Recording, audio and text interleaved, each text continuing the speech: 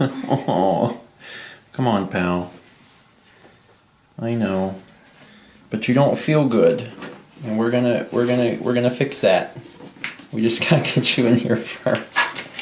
Uh, hello, everyone, and welcome to uh, Monday. Monday.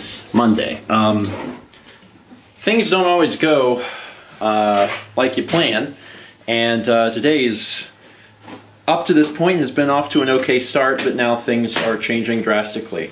Um, we got up mostly on time, which is good. We got up at 8, had breakfast, started to go to work, um, was getting stuff done, things were going well. But I noticed that uh, Sagan was in the bathroom quite a bit because where the litter box is, is conveniently next to the office. So when we're in the office, right across the hall, we can see into the litter box and also hear what's going on. And I looked over and I noticed that Sagan was in there quite a bit. Like he would go in, and then like three to five minutes later he'd be in again. And after about the sixth time, I was like, "This is something's wrong." So um, I went over and I cleaned out the litter box entirely, so it would be completely empty, because I was worried that um, maybe he was not able to go to the bathroom, which is not good. And uh, sure enough, he went in after I cleaned it. He went in um, after another few minutes, and uh, whenever he walked out, I looked and there was like two two little drops.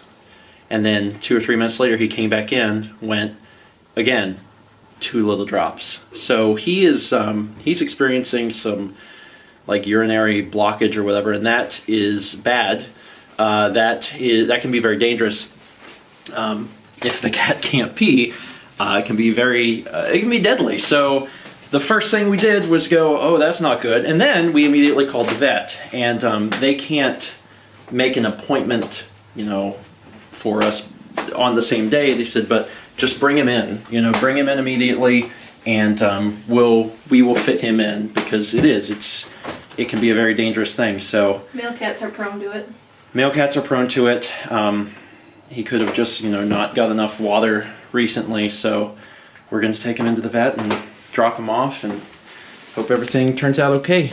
Sorry you have to go through this, buddy. It's not a good day for, for you. Sorry. So we dropped off Sagan, and since we were out, we decided to just grab lunch. We were going to eat leftovers here, but we can have leftovers later. It's not a problem. And uh, Kep, Kep has actually wandered around a little bit, kind of looking for Sagan. Like, where's Sagan? Maybe he's down the hallway. Maybe he's, maybe he's not. But um, and we dropped him off, and we'll just get a call whenever. Um, they said that they will most likely have to put him under anesthesia and give him a catheter. Yeah.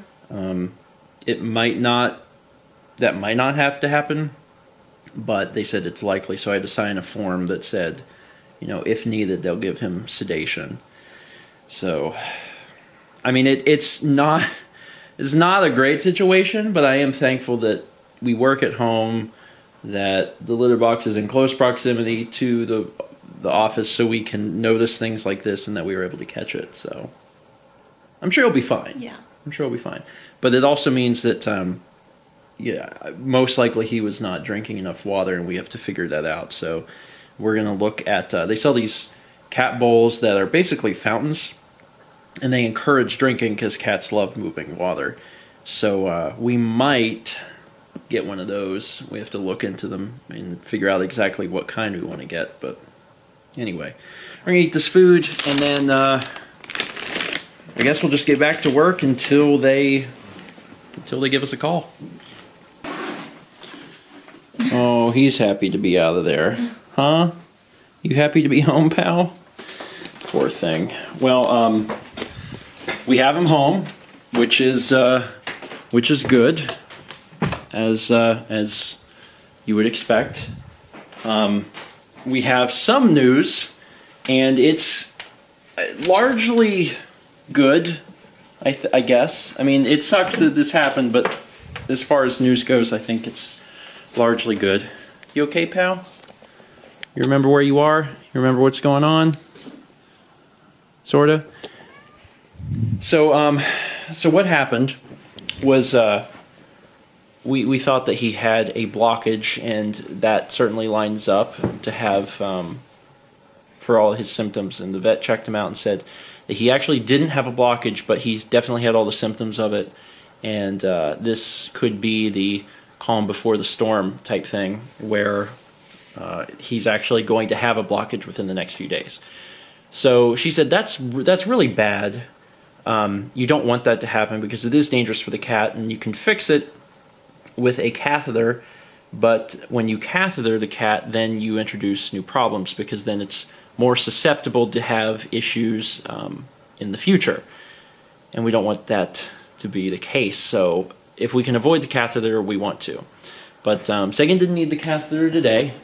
He's back there just chilling out. Um, but they had to uh, they had to test his urine, and he couldn't pee.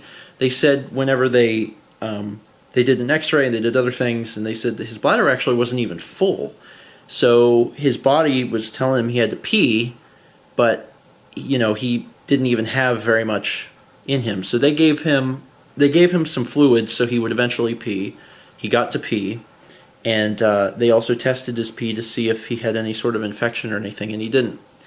So he didn't have any infection. He didn't have any um, sort of crystals or anything to indicate any sort of blockage. Uh, they're, to be honest, they're not really sure. They said this sort of thing generally happens when something in the cat's environment changes, either the environment itself or the addition of a new cat or stress or new litter or new food.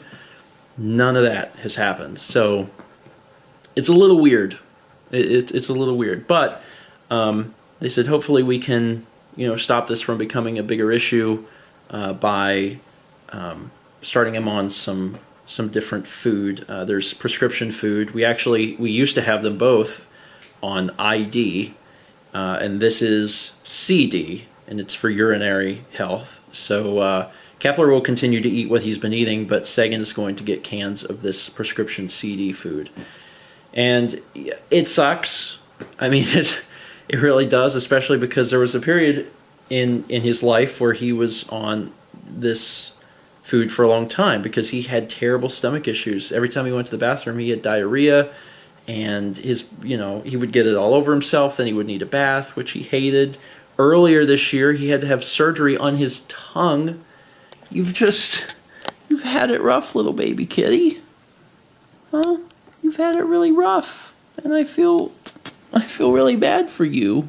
Anyway, he's got to eat this special prescription food for uh, a week straight, and it's wet food. We got to cut out dry food for him um, completely because it can actually exacerbate the problem. And he's going to be on the prescription food for a week, and then after that, very slowly start to transition him back to uh, what he was eating. Um, and he's eating good food. He's eating um, blue. Um, so he's going to be eating blue wet, and we're probably going to have to cut the dry either way down or out completely um, because once again that can make the problem worse. So between that and then also we have some um, uh, medicine to help with some of the pain and inflammation just because uh, his bladder wasn't even full and he keeps going into the bathroom to try and strain and get it out. That can actually cause inflammation because he's straining so hopefully that will help him as well. Um, it's just it's a little upsetting because recently I did a vlog where I talked about how 2017 has been such an amazing year, uh, probably the best year of my life, and there's been a lot of happiness. And that's absolutely true, and I don't regret saying that for a second. Um, obviously, there's some detractors like how busy we are. We've been extremely busy this year. But the biggest detractor has been health. And I don't know what it is, but 2017 has not been our year for the entire family. Um, Mal has had issues with uh, her teeth and having a root canal and having like a faulty root canal and having issues with that.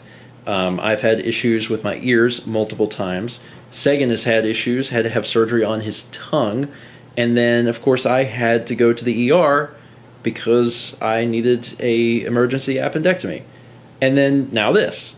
And I mean, between that and then the associated, you know, financial issues that arise from that, it's been a trying 2017. Like very, very trying. It's been great. It's been it's been happy, and there's been so many positives, but the you know, when the negatives show up, it's like, holy crap! Please, 2017, leave us alone. So I don't know. Maybe 2018 will be better, but anyway, you okay back there, bud? Huh? Poor thing. At least he's not running into the bathroom now. They did get him to go. They gave him fluids and he was able to pee, so I'm happy about that. And I know that Kep's going to be hissing at him for the next few days, but they generally don't fight. Um, the hissing happens, but that's it. We'll just have to keep an eye on him, give him his medicine every 12 hours, and make sure he eats this new food, and then really cross our fingers that he doesn't get a full on urinary blockage in the next few days because that's apparently common in this particular you know at this particular time. Um, it looks like it could be an early warning sign but fingers crossed everything will turn out just fine. Poor thing. I feel so bad for you sagan. You have no idea. So it's been a few hours and we're actually working on dinner uh, but sagan is relaxing which is really good. And he's not in and out of the bathroom every few minutes he's uh, spent a good bit of the evening just kind of uh, chilling on the futon. So I think it's just he's had a big day, and uh, I don't blame the little guy. Um, but we are working on dinner. We're doing chicken and roasted vegetables, which have another three minutes, and then we'll be all set. And uh, everything's everything's going pretty good. It, has been a friggin' crazy day. Uh, it really, really has. Um, I'm glad that we were able to help Sagan and, and hopefully get everything nipped in the bud. But um, you know, it's it's been a crazy month. This week is crazy, and then to have this thrown at us all of a sudden, it's just like man. But I mean, you never know what what life is uh, is going to throw you. You never know what kind of curveball is coming your way. Anyway, that's it for today. Thank you so much for watching. Fingers crossed that. Uh, you know this this food helps him and uh, he doesn't have to go back to the vet and get a catheter and go through all that mess. Um, but we'll just watch him and take care of him and do the best we can. Let's meet back tomorrow shall we